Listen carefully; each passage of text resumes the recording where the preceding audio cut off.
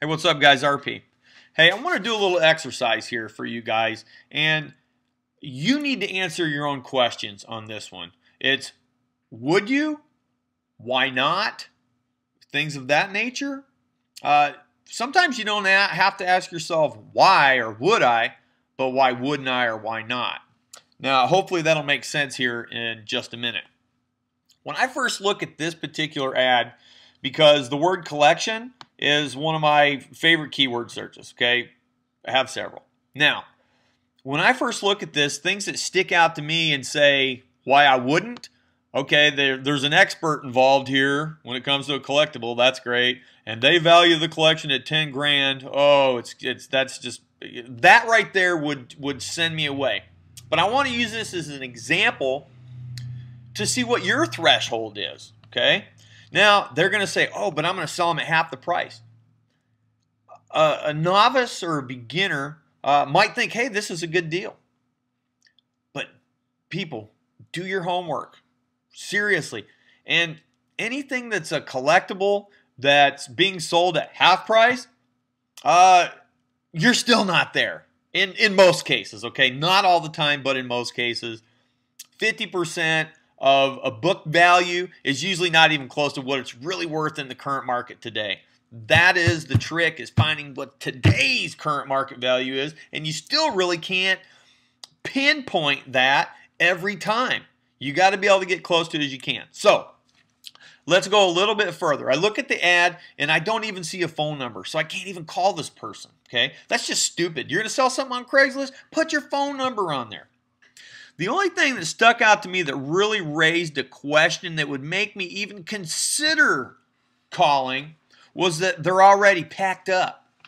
And I want to know why. Are they moving? You know? They getting thrown out in the street? Somebody die?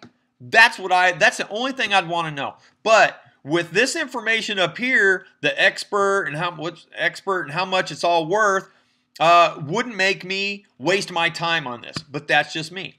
But now I want to show you why. Let's start at the top with their little Seabreeze guy, and they're wanting 213 bucks for him, and he sells between 72 and 149. Okay? What's the average between that? I don't know, 100, 105, 107.50, whatever it is. Uh, not even close. Not even close. Let's go to the balloon seller. They want 170 for that guy. Oh my gosh. You know, I think he tapped out at topped out at 137 recently.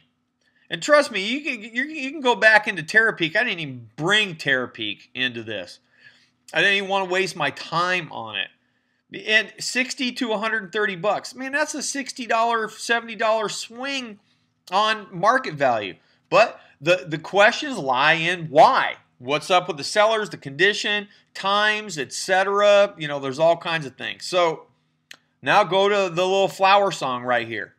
I go to the flower song. They're asking 213. Ironically, one sold it right at close to there, 219 bucks.